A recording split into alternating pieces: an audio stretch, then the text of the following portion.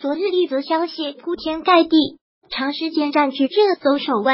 寻着去，竟是张馨予结婚了，一时间有些懵，不记得张馨予是谁。毕竟娱乐圈女星众多，同名的应该也不少，很容易记混。于是专门找度娘搜了一下，才想起原来是李晨的前女友。照片中，张馨予身穿白色婚纱，旁边是一位帅气的军装打扮的男人，称得上俊男靓女。再仔细看那身礼服，有名字，竟然是真的军装。张馨予嫁给了军人何洁，明星张馨予居然嫁给了军人何洁。再翻看他们的相识，因为综艺节目《神犬奇兵》相识，当时何洁任教官，张馨予是学员。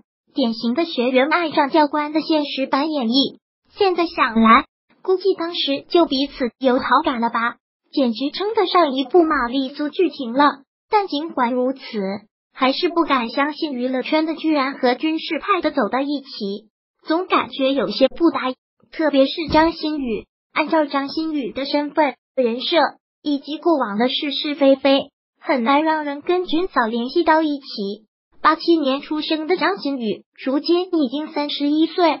他早年以足球宝贝和游戏 Show Go 身份入行，二零一零年被发掘进入影视圈。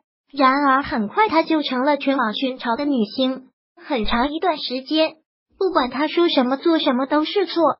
张馨予之所以不招网友待见，一是因为她入行初期穿着暴露，绯闻不断；二是出道初期被导演定位成花瓶。演技也曾遭到娱乐季结尾王思聪的诟病。三是感情史复杂，特别是与李晨的这段令人反感，使得公众对他的人品有所质疑。不知是否因为媒体的煽风点火，网友的以讹传讹，再加上幕后团队不太给力，导致他的形象口碑均受到影响，甚至阻碍了他的事业。但他的感情史确实比较丰富，而相较之道。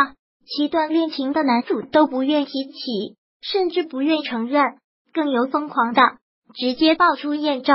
张馨予的第八段恋情，也就是何洁，他们的恋情算是最低调的，也是最终修成正果的。不过，对于这次军人老公的身份，网友们也都纷纷送祝福：剪下你的过去，是军人的宽容，愿你放下过去，重新开始，新婚快乐。希望你能对得起军嫂这个称谓。